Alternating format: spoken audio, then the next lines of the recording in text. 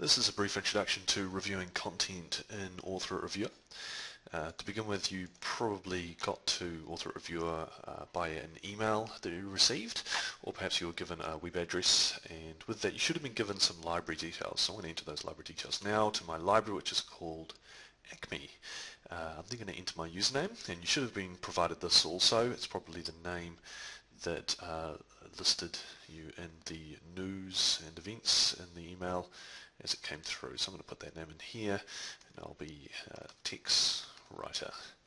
Uh, following that, we just need to enter our password and in this instance I'm leaving that blank. However, you should have been provided a password. Okay, so we've logged into Author Reviewer. Now the purpose of this program is it allows people to simultaneously concurrently review content. And so uh, it's, a, it's a very efficient way of uh, getting contributions from external reviewers and wrapping all of those changes up into our library of content. What we have in the user interface here is across the top is a ribbon bar. Uh, now as a reviewer you won't have as many controls as an editor so we've kept it rather uh, clean and simple. In the top left we have a mark complete button. If you're happy with the content you're looking at you just need to click this button here mark complete to tell the editor that you're happy uh, with the content as you see it. Uh, we can start a new review but we're not going to worry about that during this session and then finally we have discussion and an options button. So we'll look at the options button right now. It's the first thing to look at. As you can see, we have some options in here. So I'm just going to check through the way that Author-it is marking up changes. That's fine. I'm going to enter a uh, email address. Let's say textwriter at acme.com. And you can also select a uh, avatar if you so wish. Save those changes. Okay, now the, down the left-hand side we have the documents, or as we call them, books, currently in review. So if I expand out uh, the latest book here, we have a, a, user guide, and you can see that we have a, a, number in brackets. That indicates that a topic or topics under this uh, section here is actually in review, and the reviewed topics are indicated by bold. Greyed out topics are not currently in review. They're either still in draft or in another release state such as uh, released and are not applicable to the review.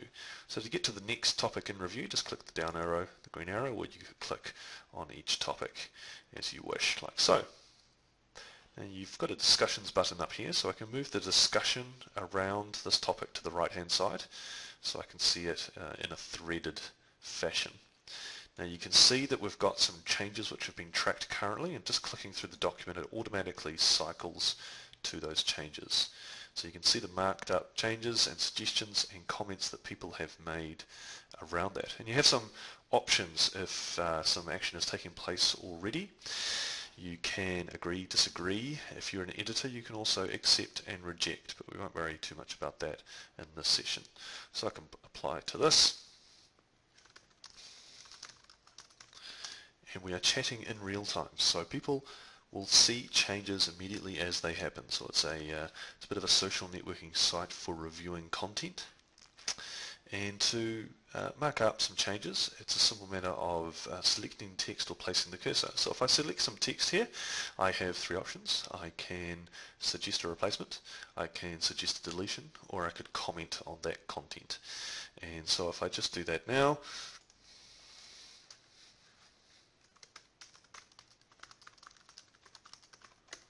like so. You can see that is added to the uh, to the list at the top here. We have that like so. So just clicking around, you can see it navigates the content. The other option inside Author-it is to place the cursor with a single click, no selecting, and you get the addition sign. Like so. So I can suggest an insertion, and you can see that that's added here with the news thread uh, as well. Okay, so when I'm happy with this content, I simply mark complete. And that tells my reviewer that uh, I'm happy with this topic. It's no longer bolded. And um, I'm happy for the review to progress. And if we just click on the book icon, you can see that we now have updated status reports for the project manager on how this is going over time with graphs and pie charts, etc. loading in uh, as they're calculated.